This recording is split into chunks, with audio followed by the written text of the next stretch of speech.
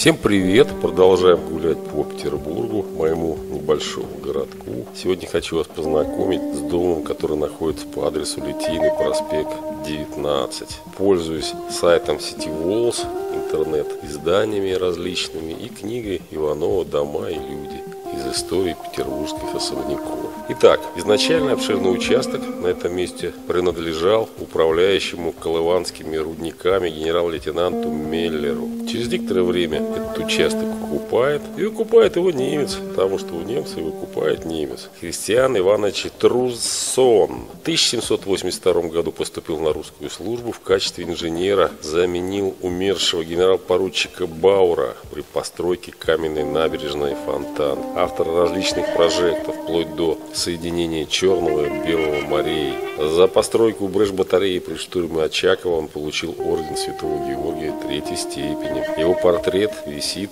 в военной галерее Зимнего дворца. Кстати, говорят, Екатерина II, когда подписывала грамоту на этот орден, заметила, что ну не может так называться храбрый человек. Нельзя называть его трусоном, а так он писался ранее. Поэтому прибавила букву «З» и получился Труссон. За участие во взятии Дербента в 1796 году достроился новая награда Святого Георгия Третьей степени. Вот такой был орденоносец. Участвовал в Отечественной войне 12 года в должности начальника инженеров в армии Барклая де Толли. После Бородинского сражения уволен в отпуск по болезни и годом позже скончал в 1713 году. Так вот, купил участок Труссон в 1804 выстроил каменный дом, оцененный согласно табелю 13 тысяч рублей. Такова была в то время обычная стоимость небольшого двухэтажного домика. После смерти Труссона домом владели его наследники. Затем этот дом перешел к вдове военного министра Милера Закамельского. А в 1840-х годах его приобрел князь Любомирский, потомок древнего польского рода, женатый на Юлии Николаевне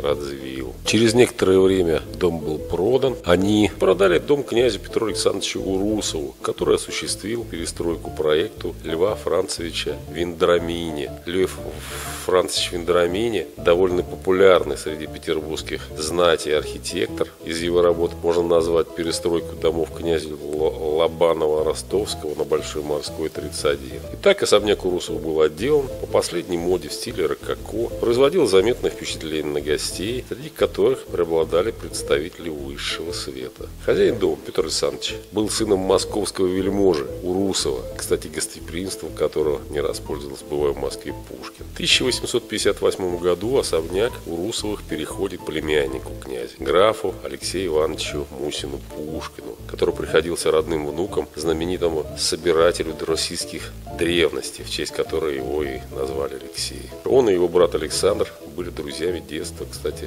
Льва Николаевича Толстого. Александр Иванович женился на богатой графине Любови Александре Кушевой Безбородько. Добился назначения коронационным церемонимейстером, получил звание камеры юнкера. Его избрали уездным предводителем дворянства и почетным попечителем петербургских гимназий. Жена ислопотала для мужа звание почетного попечителя Нижинского лицея князя Безбородько, принадлежавшее ранее брату Григорию Александровичу. Говоря о Александре Ивановиче, современники говорили, что он обожал устраивать различные благотворительные мероприятия, концерты, лотереи. Э, но некоторые называли его пустейшим из пустейших или великим человеком на малые дела. Но добрым и безобидным. После смерти графа его вдова прожила долгую жизнь, дожила до Октябрьской революции.